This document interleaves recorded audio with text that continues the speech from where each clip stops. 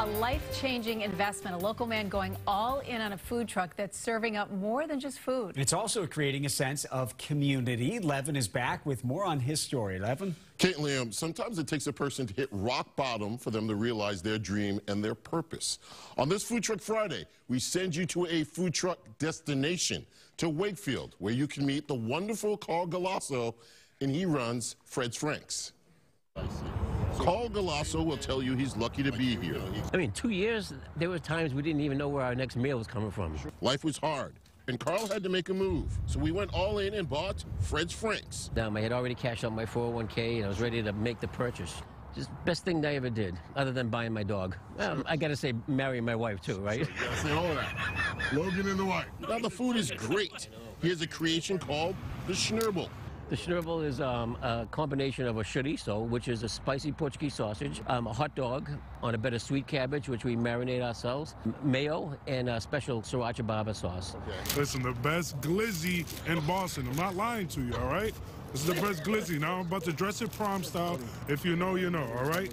But it's more than that. This place doesn't have an address. It's near a lake off Lowell Street in Wakefield, but it's where the magic happens.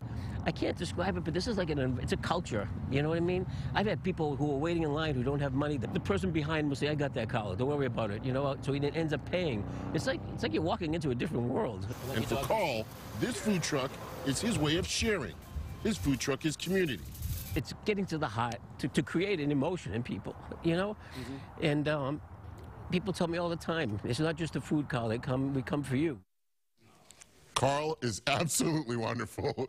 Uh, his Franks, Fred's Franks, was awarded Best Hot Dog in the Boston area. So as you can see, the goal is different. He's using food for hope and faith and bringing people together. And Kate Liam, I tried the Schnurble on my trip there. wonderful. So good.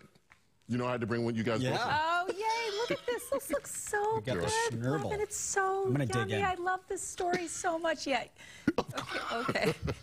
That's feel like when I bring food on Yeah. on Friday for Liam, he's just like, I, I'm- I'm eating. I don't I don't care what the break is. so good. I'm not, not going to go to commercial break. Yeah, so good. Okay, we're done. Oh, Wow. Oh, I have my breakfast now. I'm so excited. What a That great story. delicious. Lev. Thank you, Lev. Thank you. Thank you, Carl. Thank you. Thank you for the samples. he brings samples. He, he always brings samples. He does.